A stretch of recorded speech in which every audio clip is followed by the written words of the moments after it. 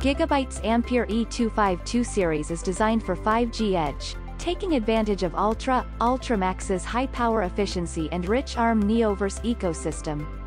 This series is highly suitable for new 5G edge computing for a lot of scalable ARM devices such as radio units and smartphones. By using ARM architecture, the same code and software can work for any CPU vendor and architects can reduce the development procedure and latency of transcoding.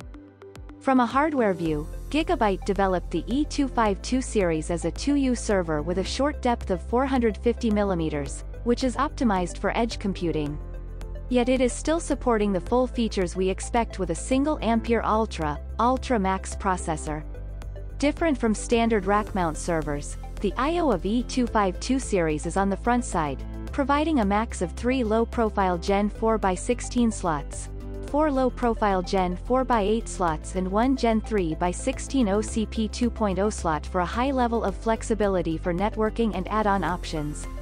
To maintain efficient performance, platinum redundant power supplies were chosen. And to be more user-friendly there is a hot swap fan wall. Please like and comment this video and don't forget to subscribe to watch more. For more Gigabyte enterprise solutions please visit industry.gigabyte.com.